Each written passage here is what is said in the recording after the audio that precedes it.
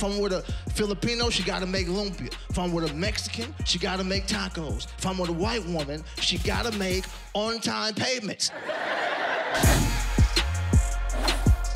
My boys trying to kick it. Lance, have a sip. Fam, you already know I don't drink. Even my girl, she got in on it. Babe, on our honeymoon, I'm gonna get you drunk. And I had to tell her for the last time, we not getting married. Was watching Family Feud like I always do, and it was the Harper family. And I was rooting hard for the Harper family. We gotta win this for a focus for the culture. Name a man's name that begins with the letter H. And this dude buzzed in with the utmost confidence. Jose.